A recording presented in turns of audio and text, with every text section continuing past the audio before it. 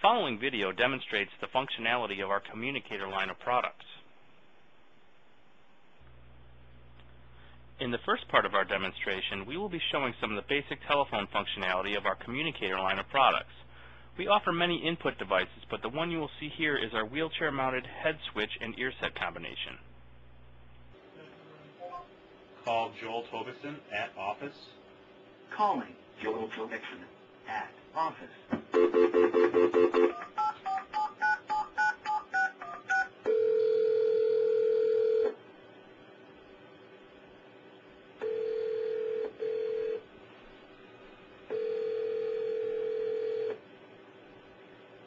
Space Technology, this is Joel. How can I help you? Hi, Joel. I just wanted to make sure you received the email I sent you. Oh, yes, we did get that. Everything is taken care of. Great. Thank you. Thanks very much.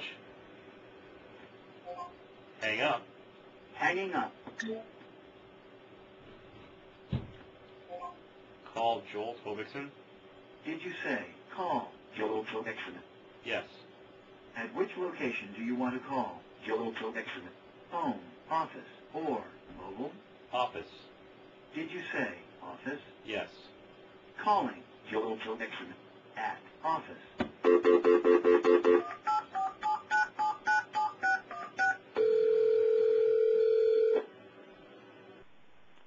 The communicator headset option shown here offers our customers a different input method and allows them to have private telephone conversations. One of the other input methods we have available is the Sage Spider. This box allows you to plug in any external microphone such as a lapel mic or gooseneck computer microphone and external speakers, or you can use a headset if desired. The Sage Spider is completely wireless, which means you can use it either plugged into a wall socket or with a rechargeable battery. The next video segment will demonstrate some communicator commands using the Sage Spider input device, a lapel microphone, external speaker setup, and a microlight switch which is clipped to a shirt collar for activation. Keep in mind that any adaptive switch with an 8th inch mini jack will work with our system. We carry various switches including a sound activated switch as well. Dial 9797616. Dialing 9797616.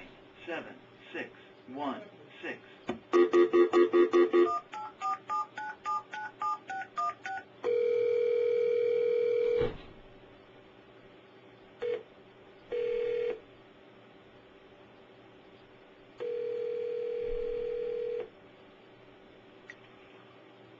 Technology, this is Joel. How can I help you? Hi, Joel. I just had a question for you on uh, a couple of those emails that you sent me. The communicator can also handle call waiting navigation as demonstrated in this next video segment.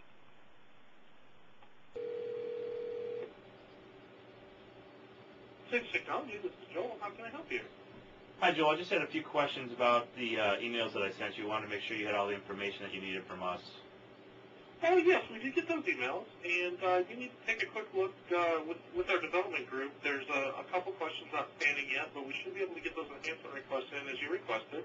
Um, it is going to take us a little bit of time because there may be a hard as well as a software change. Okay, Joel. I'm sorry. Could you could you hold on one second? I've got a call waiting.